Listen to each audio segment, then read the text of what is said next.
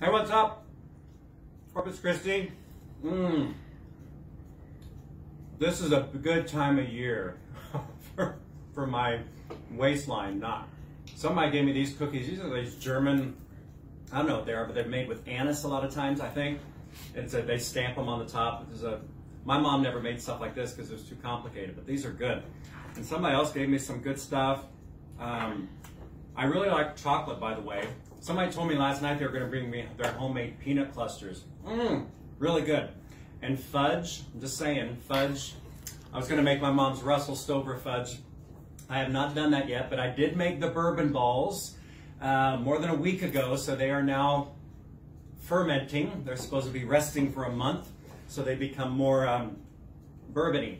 That's great. So anyway, it's a good time of year, so it's uh, good to see you guys or whatever today. Uh, it's Wednesday of the uh, second week of Advent, and uh, we have a lot going on this week uh, here at Corpus.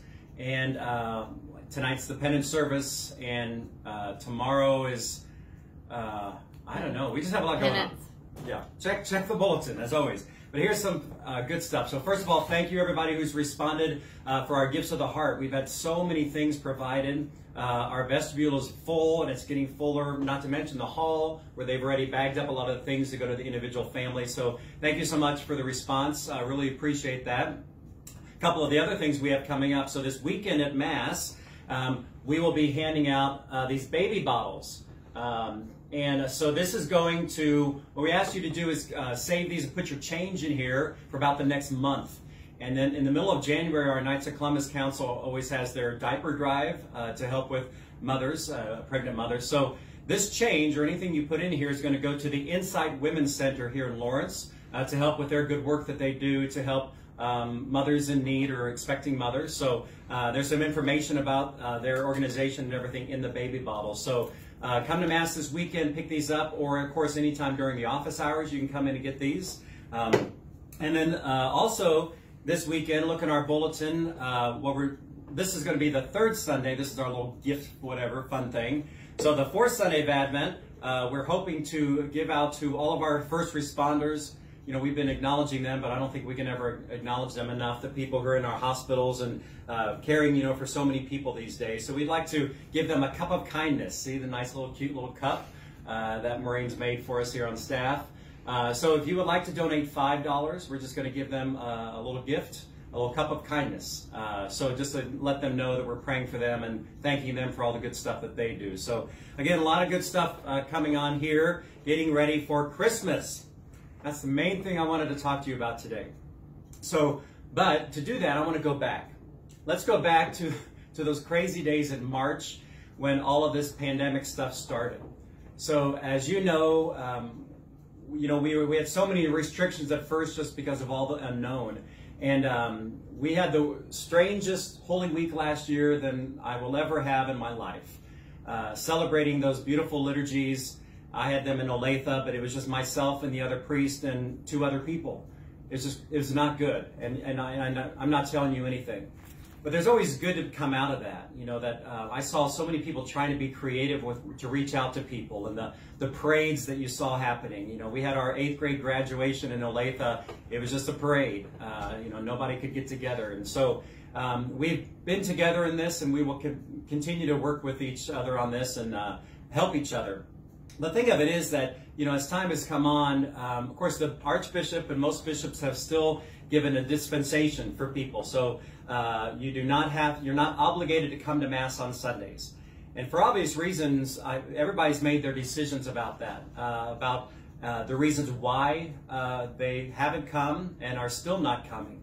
Uh, you know we've uh, we're still have and i would let me just tell you this. I think what we're doing here at corpus is, is amazing um, and it's very safe.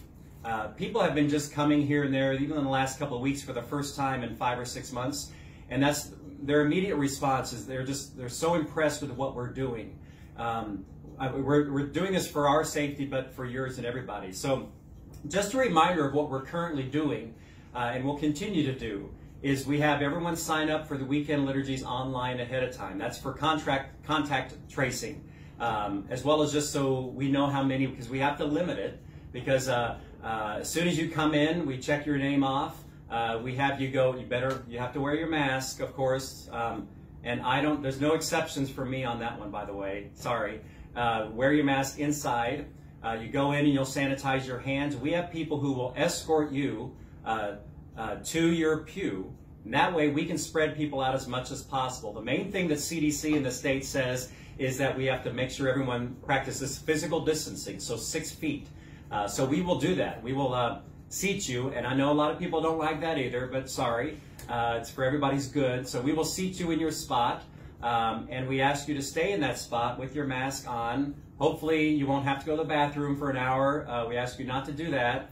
Um, but then we will also have you ushered out for communion, um, and then we will usher you out after Mass. Main thing is we want you to spend, uh, or say, six feet apart. We even have signs on the floor saying stop every six feet. So believe me, we're, we're taking a lot of precautions uh, here at Corpus Christi.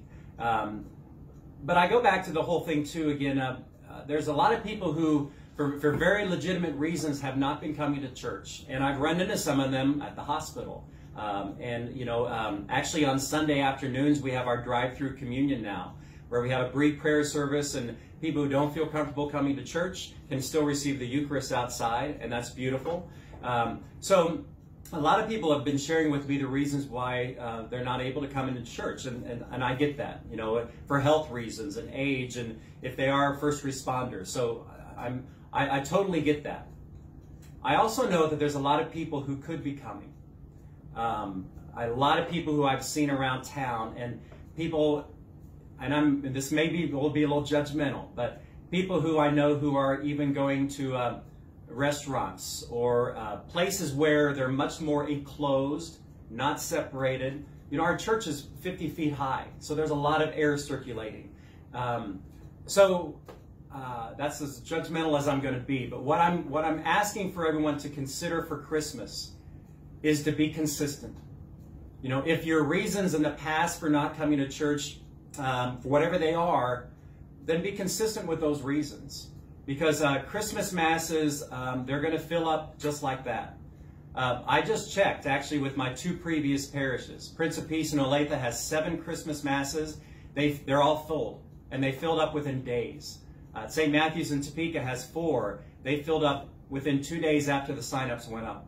So we're going to fill up just like this. Uh, but my thing is, uh, again, I would ask you um, to be a little consistent about that. If you haven't been coming in the past, I'd ask you not to come this time. Um, and I know Christmas is special, but here's the deal that some people have said they love the Christmas liturgies of Corpus Christi. I love liturgies wherever we are because they're beautiful. Um, but they're not going to be the same this year in church. We, just, we can't. Um, uh, minimal music, of course, all the spacing, uh, not as many people. We're only going to be able to get 200 people in the church, uh, whereas normally we could get 1,100 packed in there. So it's not going to be the same as a normal Christmas, but you're probably not celebrating Christmas with all your family. I'm not, uh, and everything else. So it, it's it's the the sign of the times. Um, but uh, it's going to be your call. But uh, what I would ask you is just to be consistent with what you've done in the past and consider that now. Um, there have been people who have been coming, and I would uh, uh, I would hate to have them not get a seat for Christmas uh, because they've been very faithful, and some of these people have been helping us all the time, you know, with uh, all the help that we need with ushers and everything else. So, um, so anyway, the sign-ups for our Christmas masses will start this coming Monday um, on the 14th of December. Uh, so uh, you can um, try to get in. that sounds weird. Uh, chances are they're going to be filled up. But we've decided, because we know that's going to happen, that uh, we're going to get the first 200 people in the church who sign up. But then we're also going to have uh, the same Mass live streamed at the same time in Holy Family Hall. And we think we're going to be able to get 100 people in there following all the same procedures.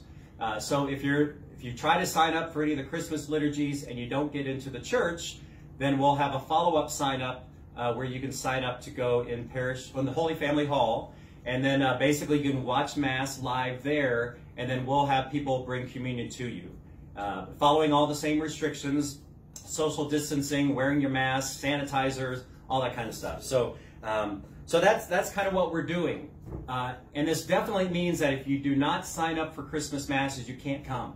Uh, there won't be any walk-ups like we do on Sundays now. which by the way, that's kind of ending because we've had several masses that have filled up. So we have to just limit it. So if there's no room in church, there's no room in church. So again, make sure you sign up ahead of time.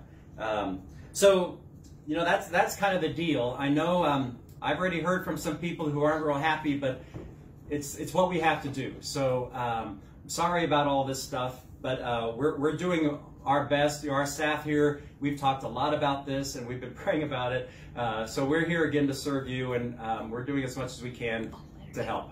What that? The full liturgy with the oh like my a big gosh, liturgy. Yes. Thank you, Christy. Yeah. So one of the things we're doing is um, we are going to pre-record a Christmas Mass. And it's going to be the, the big deal. So it's going to have the full choir, which we can't have, have at our indoor masses, of course, because we can't, there's not enough room for them. So we'll have the full choir, as many people that come. They're going to be spread out all over in the church so we can hear them. Uh, so it's, it's going to be a beautiful liturgy with uh, all, the, all the good stuff that we would normally have that we can't do with, with COVID masses. So um, we are going to, we won't be live streaming any of our Christmas masses. We'll just be showing on our website this uh, pre-recorded mass. So, um, so at four o'clock, it's going to go live on Christmas Eve, and then it'll be up there all day Christmas, and so you can watch whatever you want to with your family, maybe at home. So consider that as an option too. Uh, so, so that's kind of what we're doing. Um, honestly, next week for my video, I'll probably have some updates about all this stuff because we're just we kind of have to see how it works, right? You know, and and uh, what what happens if if we do fill up really quickly, um, well, I don't know what else we can do because uh, we got the overflow crowd going. And oh, one thing I forgot is Christmas Eve, we will also do the outside communion at 5 o'clock. 5 o'clock. So our masses Christmas Eve are at 4 o'clock, and then we'll do outside communion at 5 where you can listen in the lot. You can be in the lot listening to the Mass. And then we have Mass Christmas Eve at 6 o'clock and at 8 o'clock, and then Christmas morning at 9. Okay?